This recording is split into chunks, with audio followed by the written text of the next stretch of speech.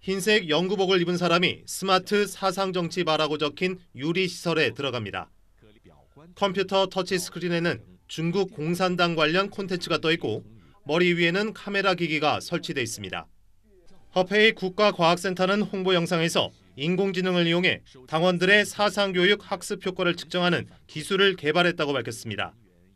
시선과 표정, 뇌파, 피부 전기 반응 등을 측정해 교육을 받는 학습자의 집중도와 이해도 등을 파악할 수 있다는 겁니다.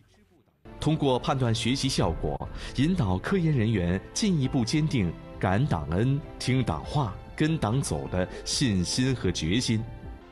시진핑 중국 국가주석의 3연임이 결정되는 20차 당대회를 앞두고 센터의 성과를 과시하기 위해 만든 영상이지만 온라인에 공개된 후 논란이 됐습니다.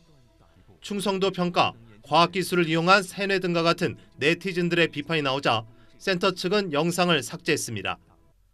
중국의 첨단 기술은 주민 행동 감시에 더 넓게 사용되고 있습니다.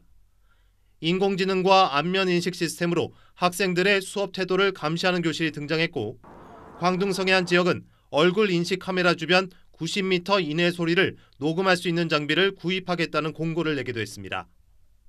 첨단 기술을 이용해 사상과 행동을 감시하고 통제하는 중국의 디지털 전체주의가 본격화하고 있다는 지적이 커지고 있습니다. 베이징에서 SBS 송욱입니다.